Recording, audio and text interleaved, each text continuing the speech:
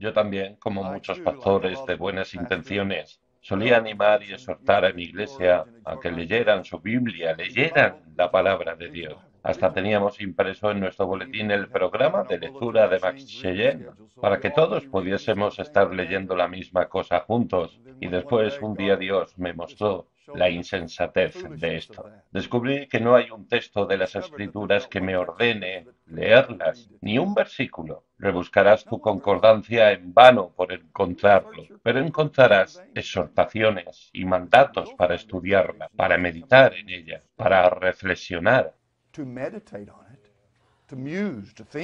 para pensar en ella, para esconderla en tu corazón. Pero ¿por qué ningún mandamiento para leerla? Porque solo leer la Biblia es insuficiente. ¿Tiene algún beneficio? No quiero desanimarte. Leer un capítulo a diario para mantener al diablo alejado.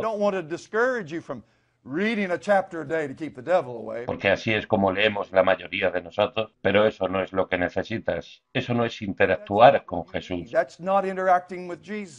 No leen sus Biblias para obtener información tampoco. Ahora bien, necesitamos información, necesitamos conocimiento, pero ese no es el propósito por el cual Dios te dio una Biblia. Te dio un libro para que lo puedas conocer a Él, para que interactúes con Él.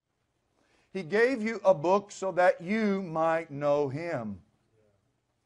Interact with him. Y vea su grandeza hacia ti. Y cuando el Señor me mostró eso, revolucionó mi lectura bíblica. Hasta eso debo confesar. Estudiaba la Biblia como lo hacemos la mayoría de nosotros, para aprender, para aprender más hechos, para adquirir conocimiento. Y eso era casi todo lo que ocurría. Podía impresionar a la gente con ese conocimiento pero eso era casi todo lo que ocurría. Podía desde luego ayudar a alguien dándole un versículo. Y no menosprecio eso, ni trato de minimizar eso, pero usualmente no tenía ningún poder, ninguna vida. ¿Por qué? Porque solo venía de mi cerebro. Y cuando el Señor me mostró que yo debo abrir este libro no con la intención de solo aprender conocimiento y hechos de Él, pero que yo debo abrir este libro para escucharlo a Él, para verlo, para experimentarlo, to hear him, to see him.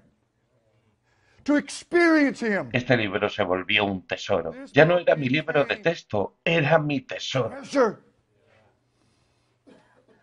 No longer was my textbook, it was my treasure. Y entonces me levanto en la mañana y abro mi Biblia y ahora leo para ver a este gran Dios, leo para ver cuán grande y grandioso es este Dios, porque sé que hoy el enemigo vendrá y me mentirá acerca de mi Dios.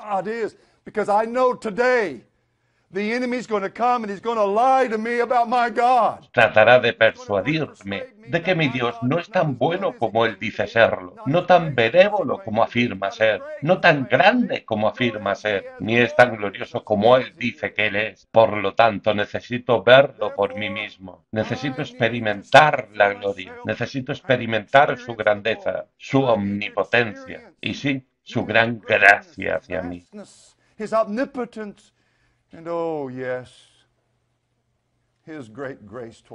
y su bondad. Y ahora me levanto en la mañana y leo. No solo para ver cuán grande es Él, pero cuán grande es Él a mí y hacia mí. Eso es lo que Jesús dice. Si mis palabras permanecen en ustedes. That's what Jesus is saying.